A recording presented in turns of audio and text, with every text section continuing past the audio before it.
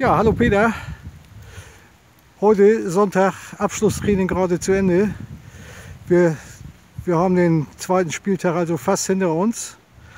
Was ist so dein Resümee über den Spieltag? Ja gut, äh, Resümee über den Spielplatz, äh, äh, über den Spieltag ist so, im Grunde genommen, sie kochen alle nur mit Wasser. Ob das Stuttgart ist, habe ich geguckt, oder auch überall, also Sandhausen und wie sie alle heißen.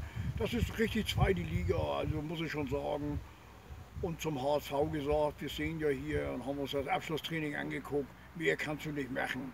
Sie haben gut trainiert die Woche, Dieter hat alle Kommandos gegeben, also und heute auch.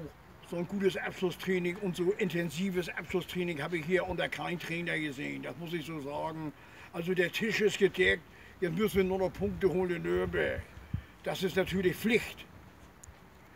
Ja, Peter, was sagst du zu St. Pauli? Der Abwehrchef verletzt, fällt aus. Ja gut, zu St. Pauli kann man natürlich sagen, Christopher Avenor noch mal alles Gute, schnelle Genesung, aber der fällt ein halbes Jahr aus, habe ich gehört. Der hat einen Wadenbeinbruch, also das, muss ich, das dauert ja länger. Das sah ja auch nicht gut aus. Ich bin mit den äh, Christopher so ein bisschen befreundet und natürlich für ihn alles Gute. Und äh, ihr wisst ja, äh, für mich ist das Fußball ist Fußball, das geht nicht um Hass oder irgendwas. Also ich, äh, wir würden auch hier mit zwei Bundesligisten in, in, in Hamburg gut klarkommen. Aber wie gesagt, äh, bei St. Pauli ist auch nicht alles Gold, was glänzt im Moment. So sehe ich das. Also du sagst eine gesunde Rivalität, aber kein Hass. Auch sicher. Rivalität immer und auch bei den 4-0, da bin ich über den Kiez gefahren und da haben sich alle verschämt weggeguckt, so will ich das ja haben, aber kein Hass. Hass gibt das bei mir nicht. Ich hasse keine Leute.